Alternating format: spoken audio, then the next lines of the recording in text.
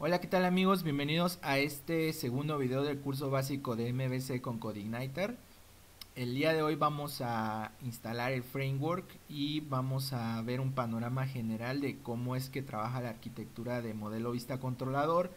Entonces, si tú ya tienes teoría de esto, tal vez te interese ya pasar al siguiente video. De lo contrario, te pido te quedes para que entiendas más a detalle cómo es que vamos a estar trabajando y bueno ya en el siguiente video pues ya comenzar ahora sí a crear pues tal vez una aplicación para que te veas cómo CodeIgniter puede trabajar perfectamente con esto. Entonces eh, vamos a comenzar primero a entender qué es el modelo vista controlador. Básicamente es una arquitectura que fue desarrollada para trabajar con aplicaciones. El modelo vista controlador pues se compone de tres capas. Hoy en día como yo te lo decía ya existen frameworks que tal vez ya hasta dividen eh, las hay más capas, o sea, tienen más capas intermedias entre ellas, entonces ya no se puede decir que es un MVC puro.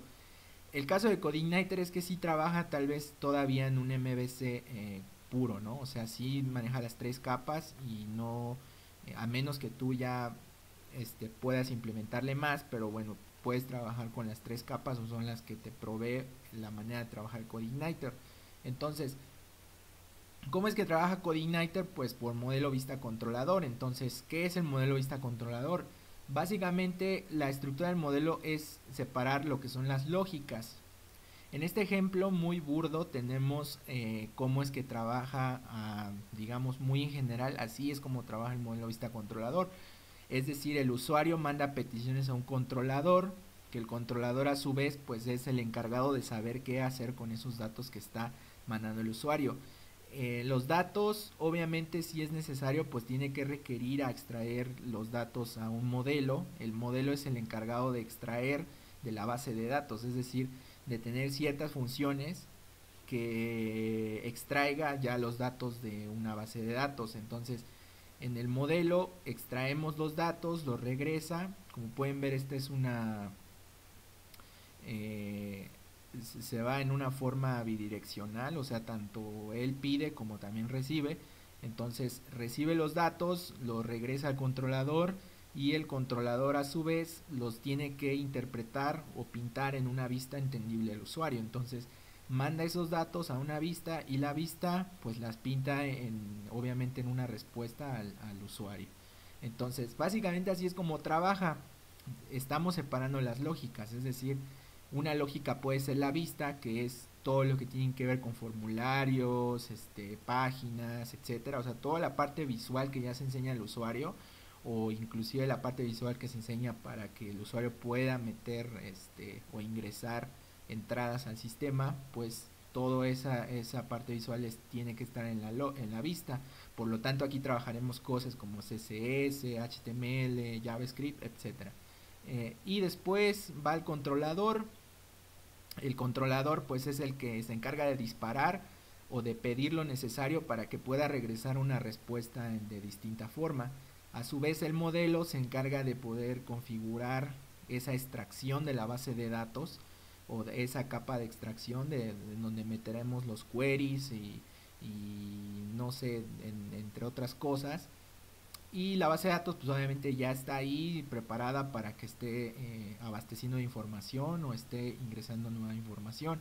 Entonces toda esta es nuestra capa de persistencia tenemos a nuestra capa de, control y también tenemos a nuestra vista que ya es donde, la que como te lo digo se encarga de pintarlos al usuario. Entonces esto es el modelo vista controlador muy a grandes rasgos. Entonces en CodeIgniter la forma de trabajar el modelo pues es así, esto ya es un poco más detallado.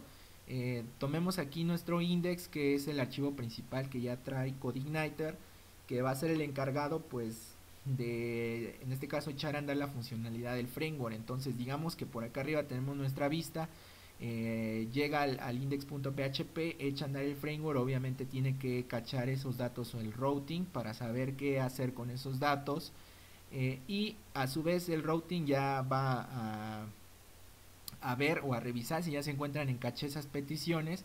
Estos ya son temas un poco más avanzados, tal vez los vayamos a tomar de, del caché, pero bueno, en dado caso de que haya ya algo en caché, alguna petición que se repita, pues obviamente para evitarse todo este proceso de ir a buscar la respuesta, pues ya nada más regresa la respuesta desde el caché. Entonces obviamente esto ya sería más rápido, ¿no? Las respuestas serían súper rápidas.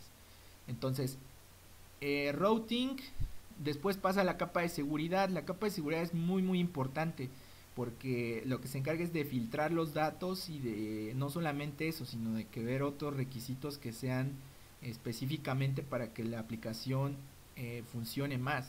Hagamos, hagámoslo ver tal vez esto como si fuera un caparazón, que obviamente para que pueda entrar adentro del caparazón pues necesita primero pasar por estos pasos, ¿no? La seguridad es una parte fundamental en todos los sistemas.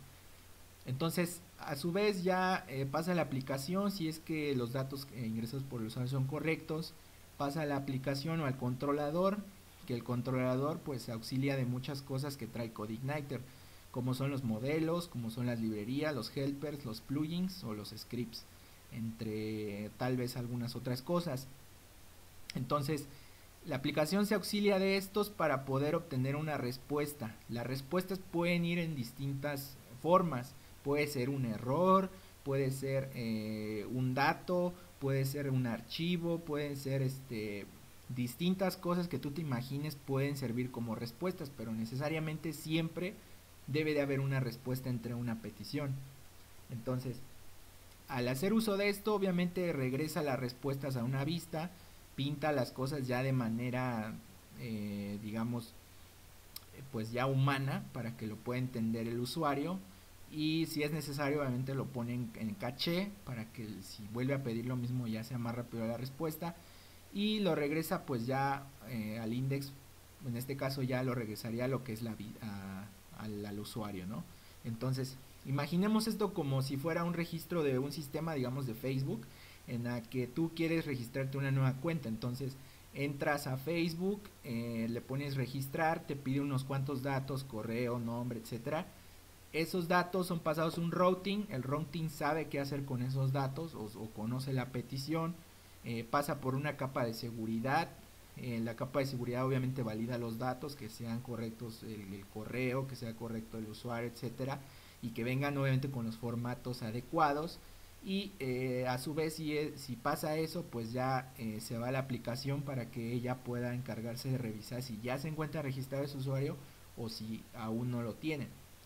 Si ya se encuentra registrado, obviamente va a mandar un error que diga eh, el mensaje, ¿no? Que diga, sabes que tú ya te encuentras registrado, entonces intenta eh, ingresar, si no, pues te ayudamos a recuperar tu contraseña. O sea, este es como que otro camino que puedes seguir. O a su vez, si no encuentra ese registro, pues te puede decir, este, eh, ya hemos registrado a tu usuario satisfactoriamente. Entonces te dirige a otra página en donde ya puedes ingresar o sea, obviamente esto es muy eh, general, los pasos realmente son más, pero bueno, es así como funciona el, o funciona el modelo vista controlador. Entonces, al regresar esos datos, obviamente se registra el usuario eso y se regresa a la vista como un mensaje. Entonces, CodeIgniter básicamente así es como trabaja. Entonces, eh, es muy muy sencillito realmente esto de entender. Eh, y bueno, ya lo vamos a ir viendo en nuestras aplicaciones. Entonces, el siguiente paso es instalar el framework. Ahora ya vamos a comenzar ahora sí a, eh, a trabajar con CodeIgniter. Entonces, la forma de descargarlo, esta es la página oficial. Obviamente aquí, eh, como yo te lo comentaba, hay distintas versiones. Vamos a trabajar sobre la versión 3, que es la versión estable en este momento. Eh, puedes descargarlo ya sea por GitHub, clonando el, el repositorio, o también descargar el paquete en un zip. Entonces nosotros lo vamos a descargar mediante un zip. Ya tenemos aquí el proyecto, simplemente lo extraemos en nuestra carpeta de nuestro servidor local, que yo aquí ya tengo mi servidor local. Es una parte importante si tú eh, vas a trabajar con esto, obviamente ya tendrías que tener un servidor local. Y eh, vamos a abrir nuestra consola, ya estoy aquí en la ruta. Eh, vamos a cambiarle el nombre, es esta carpeta de CodeIgniter 3.1.6 entonces le cambiamos el nombre a MVC CodeIgniter.